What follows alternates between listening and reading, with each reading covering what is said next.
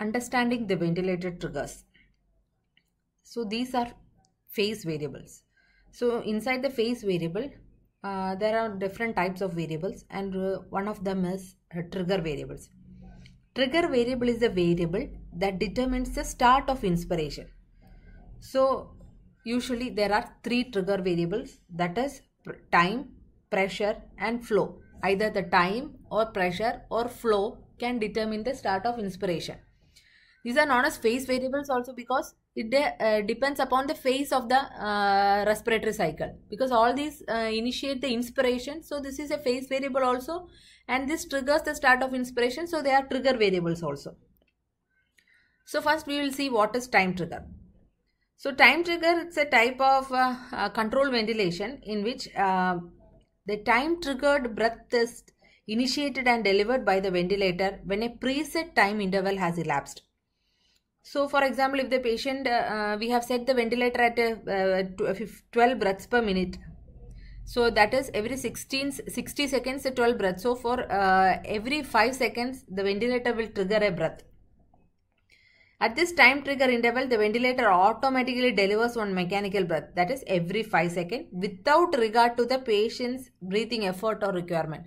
So, whether the patient is in an inspiratory phase or expiratory phase, every 5 seconds the ventilator will deliver a breath. So, it is actually a type of controlled ventilation. So, now we will see what is pressure trigger. Pressure trigger is pressure triggered breath is initiated and delivered by the ventilator when it senses the patient's spontaneous inspiratory effect. So this is we all know this is a ventilatory circuit. Here there is the inspiratory limb and this is the expiratory limb. So from here air will enter uh, when the patient is uh, uh, when the ventilator is delivering or the patient is breathing this will go into the patient's lungs and the, exp the, the expiratory air will come out through this. So whenever there is a effort that is a, a spontaneous breathing effort will create a uh, that will uh, create a negative pressure in the circuit because uh, during in the start of inspiration there is a negative intrathoracic pressure and that pressure will be reflected um, through the from the lungs into the ventilatory circuit also so there will be a pressure drop inside the ventilatory circuit and this pressure drop will will will trigger the ventilator machine and the machine will deliver a breath so this pressure drop will cause the negative deflection in the ventilator graphics. So this pressure, uh, so in pressure trigger we can set the trigger usually from minus 1 to minus 5. So if we set at minus 1, that is when the patient is initiating a small uh, effort or a small drop in negative pressure itself, uh, the ventilator is delivering a breath. If we keep it as minus 2, this negative pressure um, negative pressure the patient has to create a much more negative pressure that is this uh, negative deflection should reach up to this 2 so if we keep it as minus 5 then that means the patient has to take a large effort that is a large negative pressure uh, has to be generated. Then only the, the ventilator will be delivering a breath. So if we want uh, the patient's respiratory muscles need to be conditioned or uh, in such cases we have to keep uh, the um, triggers at uh, minus 3 or minus 4 or if the patient is very sick and we want to reduce the work of breathing to maximum we should keep a lower trigger like minus 1 so that is regarding the pressure trigger so what happens if there is an auto PEEP developing? That is if there is water inside the ventilator circuit then the waveform will not touch at the baseline. The waveform will start from here. That is if if we consider that this much PEEP which is drawn here is about uh, uh, 5 centimeter of PEEP has developed in the circuit. So this much will be 5 centimeter. So uh, then what happens is that uh, even if we keep a trigger at minus 5 uh, this negative pressure will reach only up to this 0 because this is 5 no? Uh, for example if we keep this keep this uh, that is we keep this uh, uh, one second. If we keep this as 2 that is we are keeping this as 2 that is excuse me so we are keeping this as uh, uh, 2 uh, 2 centimeter of PEEP has developed inside the breathing circuit. So what happens is only if the for if we and we have kept the sensitivity as minus 2 then what happens is even if it is minus 2 uh, this people the patient effort will uh, reach only up to um, 0 it because this is 2 only. So minus 1 will come up to here and minus 2 will come up to here. So the uh, ventilator will not get triggered. So in that case if there is 2 uh, peep we have to keep at least at minus 3 then only the ventilator this will reach up here.